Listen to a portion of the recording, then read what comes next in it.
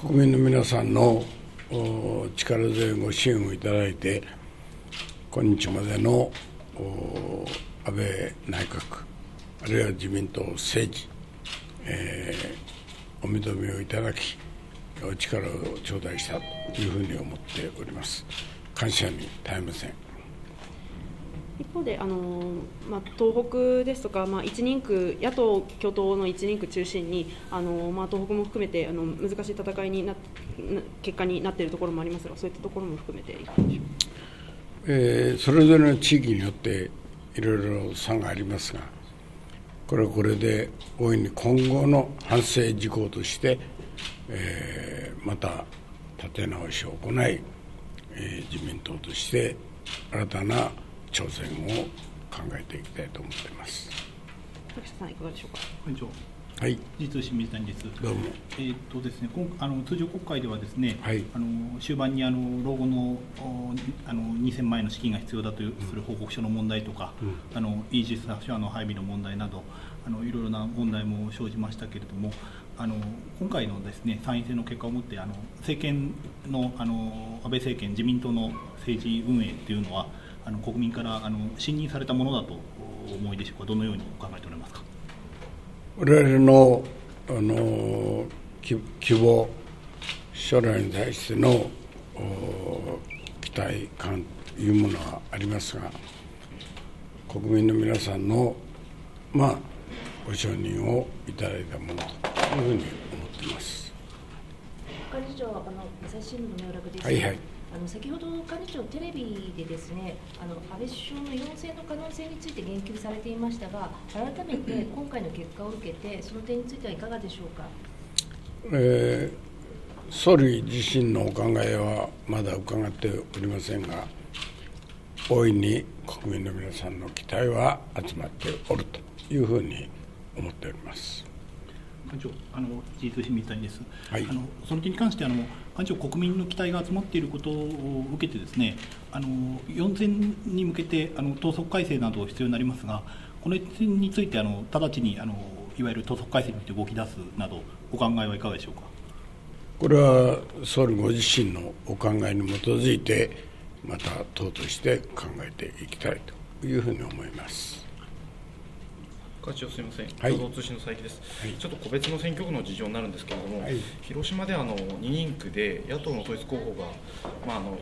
1議席を取るという、まあ、報道になってますけれども、この広島で2人を立てたという戦略については、あの間違ってなかったというふうにお考えでしょうどこの選挙区もね、私自身もあの経験があります。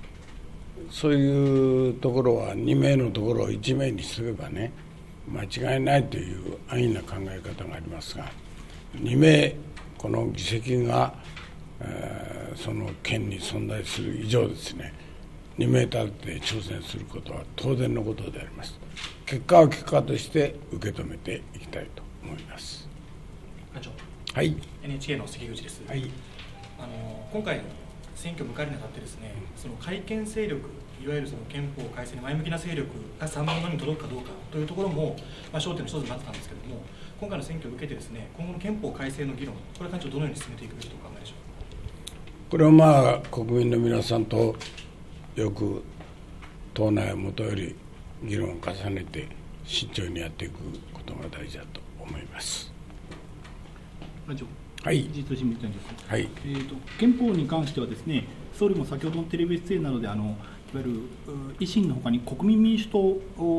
の一部にもあの会見に積極的な方がいるということを言っておられました、あの野党とのあのいわゆる連連携あの、一部野党とのあの憲法改正に向けた連携については、どのようにお考えになりますか？憲法というのは、もうご承知の通り、国民全体の問題でありますから、えー、できるだけ与党だ、野党だいうことだけではなくて、広く多くの皆さんのご理解、ご協力を得ることが大事ですから、我々は積極的に野党の皆さんともこの問題については話し合っていきたいと思っています。毎日新聞ですが、はい、そもそも憲法改正、今回の参院選の争点になったとお考えですか？特にこれで、これだけ勝ったら憲法改正、国民がご支持いただいたとか、あるいはこれだこのラインが割れればどうだとかというようなことはあらかじめあの申し上げてるわけではありませんので国民の皆さんの声を静かに、えー、お聞きをすると。こういうまあ謙虚な気持ちで臨んだわけでありますが今度の選挙の結果を見てまたさらに党内でも議論を深めていきたいと思っています。幹事長すみません、あの共同会議です。はい、えっ、ー、と今回のまあ選挙結果でまあ自公与党に対するまあ堅調な支持というのが伺えたと思うんですけれども、これを受けて次の衆院の解散というのはできるだけ早期に行うべきというふうにお考えでしょうか？この選挙に勝たせていただいたからと思ってすぐ衆議院を解散したらいいとかどうとかあるいはまた今ご質問にもありましたように有利な時だからやったらいいとか私はそういうことは取るべきではないとこう思っています。衆議院の解散というものは時の政治の政権交代を含めた重要な課題に、直面したときに直ちに解散をして国民の皆さんの信を問うと。いうことが当然であって今から計算してですね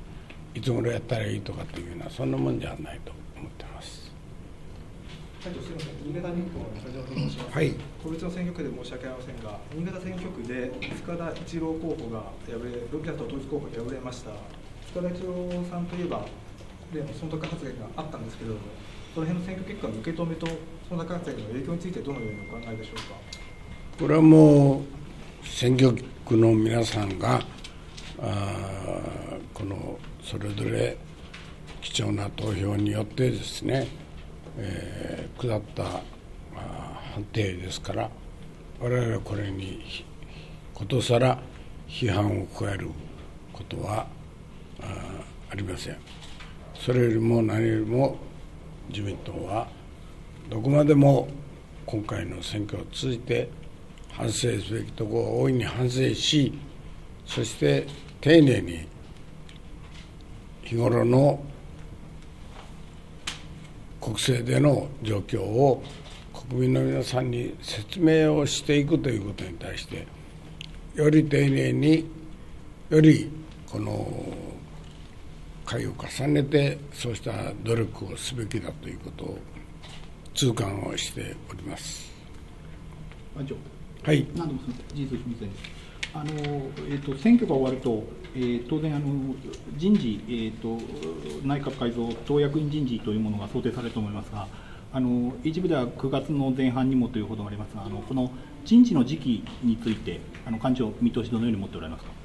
これは人事権者である自民党総裁がお決めになることでありますから、えー、特に人事の問題について、まだ話し合ったことはありません。すみません、毎日新聞ですが、はい、個別な選挙区ですが、広島選挙区で、まあ、岸田派の牙城と言われているところで、岸田派の候補は落選確実ということになりましたけれども、一部ではその岸田さんのポスト安倍へのその疑問符がつくという話をする方もいらっしゃいますけれども、幹事長、どのようにお考えでしょうか？我々はその広島の選挙区の結果でポストがどうあだどうだとかというようなことを特に考えておりません。